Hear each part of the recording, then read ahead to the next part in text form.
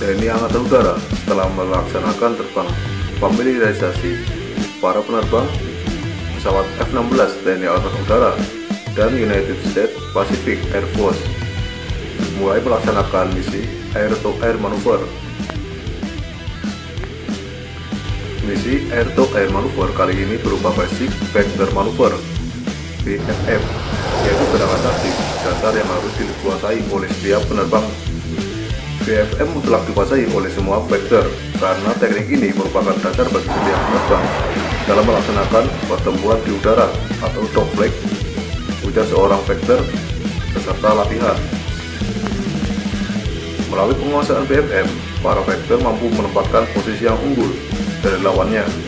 Saat melaksanakan dogleg, keunggulan ini memungkinkan penerbang melakukan penyerangan terhadap pesawat musuh atau membantu pesawat kawan yang sedang terancam termasuk juga meminimalisir resiko tertembak oleh senjata udara musuh.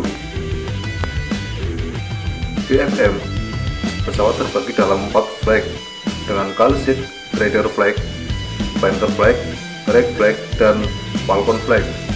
Latihan diselenggarakan di area latihan Lanut Rujmin Nurjadin